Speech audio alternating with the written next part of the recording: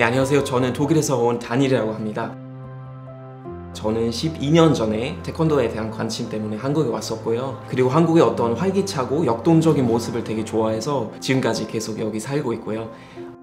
한국 사람들도 아마 한 번쯤 들어본 이름은 바로 디터 람스인데요. 디터 람스 보면 정말 사람에게 부담 주지 않는 디자인 대신에 정말 기능이 뛰어나고 이런 디자인의 하나의 상징이 됐거든요. 기술력과 디자인의 그 조합을 우리가 많이 좀 보여줄 수 있는 것 같습니다.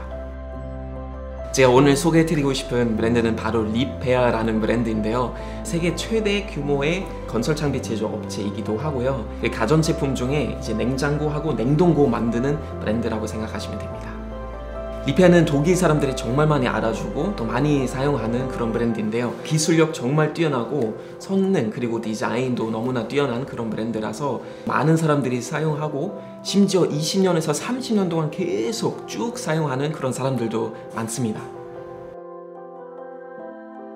제가 왜 리페아를 좋아하냐고요? 우선 그 기본에 충실한 우수한 기술력 때문이에요. 제가 요즘 그 수련하는 합기도 하고 좀 정신이 비슷한 것 같은데 리페어도 어떤 요란한 신기술보다 정말 냉장 그리고 냉동 기술이 있어서 기본에 충실한 그래서 기본 성능을 계속 이제 더 좋게 만드는 데 집중하고 너무나 고수 같은 그런 브랜드라고 생각합니다.